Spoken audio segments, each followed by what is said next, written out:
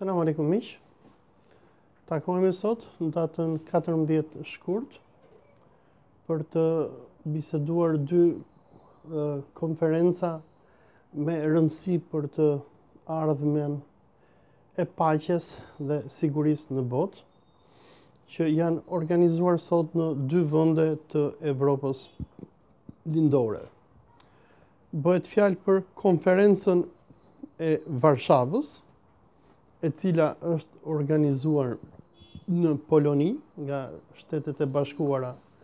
të Amerikës dhe vendet që ato kanë koloni apo satelit, vende sikur Arabia Saudite, Omani, Bullgaria, Brazili, Argjentina apo edhe Shqipëria jonë trime dhe heroike me zëvendësministrin e saj të shumëditur Genti Cakën dhe kemi patur edhe një konferencë tjetër e cila është organizuar në Sochi të Rusisë nga tre fuqitë më të mdhaja të lindjes së Mesme dhe Azisë Qendrore, më saktë nga Rusia, Turqia dhe Irani. Këto dy konferenca kanë qenë dy konferenca ku njëra u mblodh për të organizuar luftë, vrasje dhe terrorizëm, në të cilën mori pjesë edhe vendi ynë kolonia e Shqipërisë, ndërsa konferenca tjetër Ajo e Soçit u bë për të sjellë paqe dhe stabilitet në Lindjen e Mesme. Konferenca e Varshavës, e cila u thrit nga qeveria amerikane, apo më saktë nga administrata evangjeliste amerikane, e cila udhëhiqet nga priftërinj protestantë sikur Mike Pence apo Mike Pompeo. Qëllimi i kësaj konference ishte që të realizojë ëndrrën që kanë zionistët dhe evangjelistët amerikanë e cila është dominimin absolut të lindjes së mesme nga Izraeli, zhdukjen e arabëve dhe Palestinës. Për këtë arsye, administrata amerikane mblodhi një tufë beduinësh arabë, disa fise nga këto fise diktatoriale arabe, sikur dinastia që sot sundon Arabinë Saudite, Bahrejnin, Emiratet Arabe, dhe nën udhëheqjen e kryeministrit izraelit, i cili tashmë hiqet sikur të jetë emiri më i madh i fiseve dhe i tribuve arabe, Amerikanët u munduan që të ndërtojnë në këtë konferencë një aleancë fisesh arabe kundër qytetrimeve arabe të Palestinës, të Libanit, të Sirisë dhe në veçanti kundër Iranit, i cili qëndron në krye të rezistencës palestineze, dhe mbështet shtetet sikur Siria, Libani apo edhe palestinezët në rezistencën e tyre ndaj apartheidit dhe fashizmit izraelit. Konferenca e Varshavës, sikur deklaroi edhe ish shefi i CIA-s që tani më është sekretari i shtetit amerikan Mike Pompeo, u bë me një qëllim të vetëm dhe qëllimi është që të zhdukin apo të ndërtojnë një front dhe të bëjnë luftë me Iranin. Mike Pompeo deklaroi dhe tha që ne nuk përballemi dot me Hamasin dhe me Hizbullahin. Hamasi është një nga partitë politike të Palestinës, i cili udhëheq rezistencën palestineze ndaj okupimit izraelit, ndërsa Hizbullahi është një nga partitë politike të Libanit, që gjithashtu udhëheq rezistencën libaneze ndaj pushtimit izraelit. Pompeo deklaroi dhe tha që ne nuk mund të përballemi dot me Hamasin dhe Hizbullahin, pa mundur Iranin më parë. Pra, sikur mund të shihet nga deklarata e Pompeos, konferenca nuk u bë për paqe në Lindjen e Mesme, sikur ishte deklaruar më herët, por gjithë qëllimi i konferencës ishte se si amerikanët të mbledhin një tufë vendesh vasale ndaj Amerikës, sikur janë Shqipëria, Bullgaria e të tjerë, Dhe këto vende vasale t'i bashkojnë me një aleancë me tributë e ndryshme arabe, që janë nënshtruar Amerikës sikur iu nënshtruan fiset arabe në kohën e Turqisë me Laurencin e Arabisë, dhe të gjitha këto së bashku të bëjnë një front kundër rezistencës libaneze, rezistencës palestineze dhe në veçanti kundër Iranit, i cili është nga vendet kryesore që mbështet rezistencën e popujve arabë kundër kolonializmit izraelit. Në anën tjetër, ne pamë edhe konferencën e Soçit, ku tre fuqitë më të mëdhaja të Lindjes së Mesme dhe Azisë Qendrore, Rusia, Turqia dhe Irani, u mblodhën për të ndërtuar planet dhe projektet e tyre për të stabilizuar Lindjen e Mesme. Tani që Rusia, Turqia dhe Irani kanë fituar luftën, kundër terrorizmit, tani që ISIS-i, Nusra, PKK-ja, PID-ja dhe organizatat e tjera terroriste që u themeluan dhe u hodhën në Siri nga spiunazhet dhe agjenturat e Arabisë Saudite, Amerikës dhe Izraelit tani që të gjitha këto grupe terroriste u mundën, Turqia me Rusinë dhe me Iranin, po planifikojnë për të ardhmen e Sirisë. Në konferencë u diskutua se si fjala bie Turqia do të çarmatosë xhihadistët e ISIS-it, se si Rusia me Iranin do të çarmatosin terroristët e PKK-së dhe se si Irani, Turqia dhe Siria do të garantojnë të ardhmen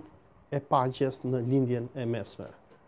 në konferencën e Soçit dhe në deklaratën për shtyp që sapo dhanë presidenti i Iranit, i Turqisë dhe i Rusisë, u denoncuan ndër të tjera projektet që amerikanët kanë dhe mbështetjen që ata i bëjnë organizatave terroriste sikur është ISIS-i dhe të tjera, dhe me këto organizata ata destabilizojnë Sirinë. Presidenti iranian Rohani përmendi në konferencën për shtyp ndër të tjera që amerikanët në këto momente janë duke marrë terroristët e ISIS-it, po i nxjerrin dhe i transportojnë ata nga Siria dhe po i çojnë në Afganistan. Ky lajm që u përmend nga president Rohani është përmendur në shumë media dhe portale të tjera në ditët e kaluara,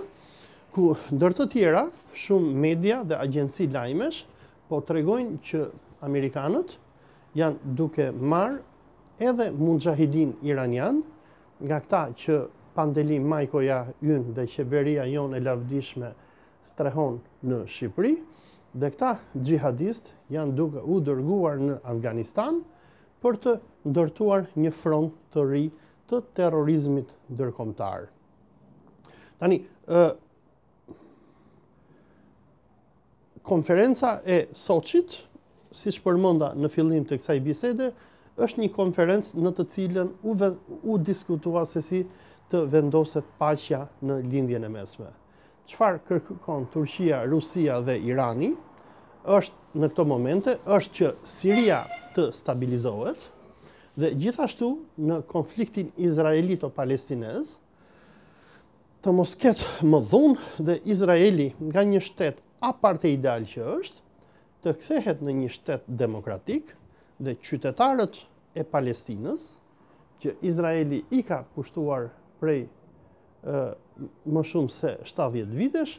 t'i trajtojë si njerëz, t'u japi atyre të drejtat bazike që ata meritojnë, dhe Izraeli të mos i vrasi palestinezët dhe të mos i dëbojë ata nga tokat e tyre. Por, ndërsa Turqia, Rusia dhe Irani janë duke u përpjekur në këto momente që të sjellin paqe në botë, Çfarë po bën administrata amerikane së bashku me qeverinë e vrasësit serial Benjamin Netanyahu, ata janë duke kërkuar që të hapin luftra të reja në Lindjen e Mesme. Në konferencën e Soçit, presidenti i Rusisë, i Turqisë dhe i Iranit, treguan se si amerikanët vazhdojnë që të ndërhyjnë në mënyrë të vazhdueshme në Siri, të mbështesin grupet e ndryshme terroriste dhe në anën tjetër ish-xhihadistët e ISIS-it në vend që ata të çmobilizohen, të çarmatosen, të kthehen nëpër vendet ku ata kanë ardhur dhe të deradikalizohen, çfarë po ndodh është që amerikanët janë duke i mbrojtur ata, sikur mbrojnë edhe terroristët kurdë, Dhe terroristët e ISIS-it janë duke i dërguar në Afganistan. Në këtë video, për ata që më shohin, dua të përmend edhe një fakt tjetër. Sikur shumë nga ju që më dëgjoni dhe jeni në dijeni, në Siri, kur nisi lufta civile, shkuan edhe shumë shqiptarë nga Kosova, Shqipëria dhe Maqedonia. Shumica e shqiptarëve, iu bashkuan organizatave terroriste sikur ISIS dhe Nusra. Kur amerikanët pushtuan Rakën dhe Mosulin, ata përveçse i rrafshuan këto qytete në mënyrë totale dhe vranë me qindra mijëra njerëz, ndër të tjera kanë vrarë edhe shumë shqiptarë, të cilët kanë qenë të bashkangjitur ndaj organizatave terroriste. kush sheh në internet si për shembull faqen e,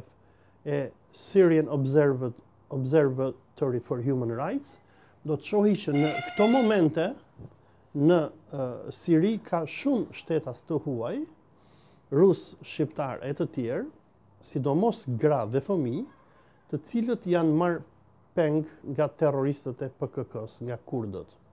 Ka shumë të tjerë shtetas perëndimorë duke përfshirë edhe shqiptarët që në këto momente janë në zonën e Manbij e në zonën e e Manbijit e cila mbikëqyret në një farë mënyre nga Turqia. Do të ishte mirë për prindërit që kanë fëmijët e tyre në xhihad në Siri, që t'i apelojnë fëmijëve të tyre që të kontaktojnë familjet e tyre dhe familjet e tyre do të bënin mirë që të kontaktonin me Ministrinë e Jashtme në Shqipëri dhe me Ministrinë e Brendshme, t'i tregonin atyre për vajzat e tyre, për nuset, për fëmijët që i kanë ngelur në Siri dhe t'i kërkojnë familjarëve të tyre që i kanë në Siri, tani që lufta përfundoi, që t'i tregojnë familjeve të tyre vendodhjen dhe këto familje të sinjalizojnë qeverinë shqiptare dhe t'i kërkojnë qeverisë shqiptare që të bëjë ç'është e mundur nëpërmjet kanaleve diplomatike turke apo amerikane dhe të kërkojnë kthimin e këtyre njerëzve në Shqipëri. Këta shqiptarë që kanë ngelur në në Siri, Unë e di që shumë prej tyre kanë frikë që të kthehen në Shqipëri. Megjithatë, unë mendoj që gjë më e mirë është që ata të kthehen në Shqipëri dhe të hyjnë në burg për një farë kohe, sesa të qëndrojnë në Siri, ku kurdët mund t'i vrasin, ku amerikanët mund t'i marrin dhe t'i çojnë të bëjnë xhihad në Afganistan dhe t'i vrasin andej. apo ku sikur ka edhe shumë raporte, shumë nga gratë e ish-xhihadistëve shqiptarë që kanë ikur në këto momente janë pengje lufte të terroristëve kurdë. Do të ishte gjë më e mirë për këta shqiptarë që të bëjnë çmos që të kthehen në Shqipëri. Le të burgosen nëpër burgjet shqiptare, po të paktën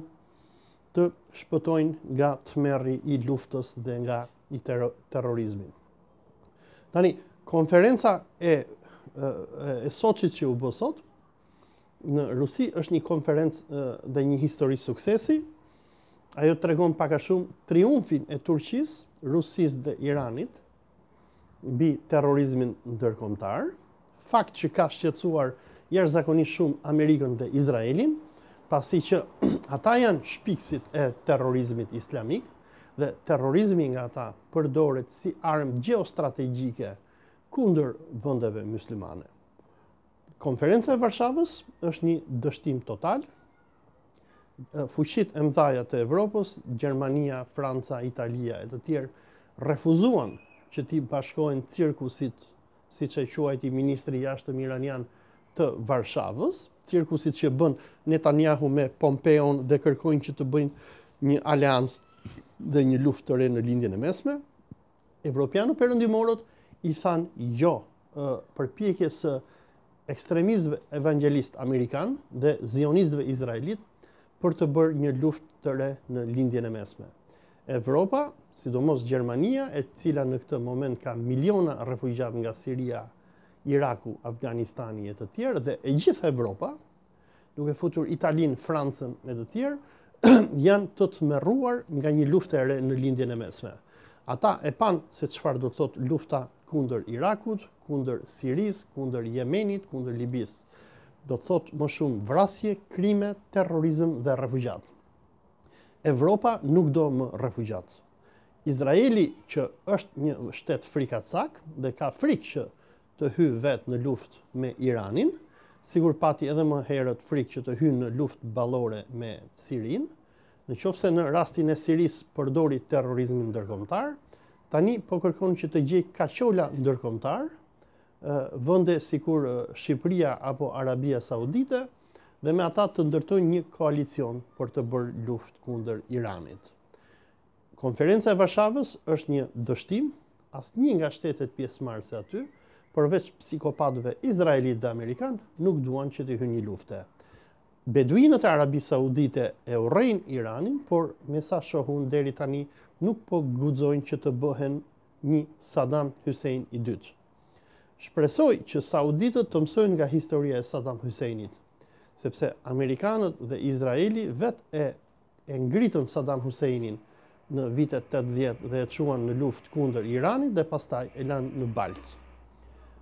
Amerikanët dhe izraelitët po mundohen të bëjnë të njëjtën gjë në këto momente me Arabinë Saudite, me Bahreinin, me Omanin, me Emiratet Arabe e të tjerë. Ata duan që t'i vërsulin të gjithë arabët kundër Iranit, të gjithë arabët kundër rezistencës palestineze dhe nga xhihadi 1.0 që ishte xhihadi në Siri, ata duan që të bëjnë një xhihad edhe më të madh 2.0, ku t'i vërsulin myslimanët që të luftojnë dhe të vrasin njëri-tjetrin, ndërsa amerikanët dhe izraelitët do kënaqen, do shesin armë dhe do të bëjnë sehir. Konferenca e Varshavës po tregon që deri në këto momente shtetet e ndryshme të botës nuk po duan që të hyjnë në luftë. Kuptohet që ka disa shtete fakire dhe budallaçka si puna e Polonisë, e Shqipërisë, e Rumanisë, që shkojnë nëpër këto konferenca ngaqë janë fakirë dhe shpresojnë që të kapin ndonjë lek nga amerikanët, Por unë mendoj që në këto momente Amerika dhe Izraeli janë të dëshpëruar. Aleatët e tyre të vetëm që janë të zellshëm dhe duan që të bëjnë luftë me Iranin në këto momente, janë muxhahidinët iranianë që ne strehojmë këtu në Shqipëri me komandanten e tyre Mariam Raxhavin dhe ministrin e ndritur të diasporës Pandi Majkon, i cili ëndërron që një ditë të shkojë në Iran në Teheran dhe të hajë akullore me Mariam Raxhavin. Keq për Izraelin, keq për Amerikën, konferenca e Uashingtonit është një dështim, konferenca e Soçit është një sukses. Siria po çlirohet nga terrorizmi i sponsorizuar nga Amerika dhe nga Izraeli, myslimanët po ftillohen dhe po e kuptojnë që lufta nuk është solucioni i tyre, por paqja.